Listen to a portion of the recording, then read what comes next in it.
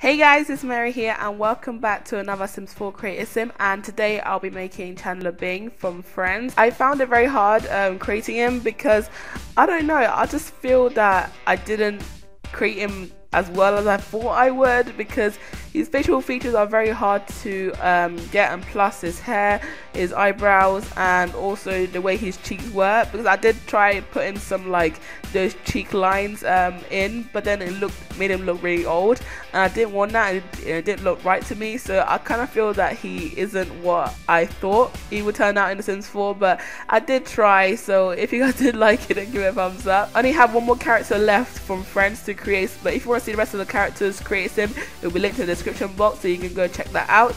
And if you want to download him he'll be available on the gallery. Just search um, for my name SGRXO and he should pop up. Or something or search Chandler Bing. He should pop up in some way. In other aspects I just want to uh, quickly say to you guys that I have created a straw poll and I really want your opinions on if I should start doing maybe weekly vlogs or a little bit of vlogs randomly on my channel. Because I know some of you do like seeing my face when I do updates. So I guess it'd be kind like to get to know you better. And plus for you guys to get to know me better to see what I do with my daily life. If you're not subscribed to my vlog channel with my boyfriend or, or you just personally want to see my life not just me my boyfriend's life just mine. If you're in interested in that then go to the link in the description box and you can vote um, because I really would appreciate your opinion on it because it's something I really enjoy doing. So it'll be good for this channel I guess. So anyway if you like this create sim give it thumbs up and subscribe for more videos and I'll see you guys tomorrow. Thanks for watching bye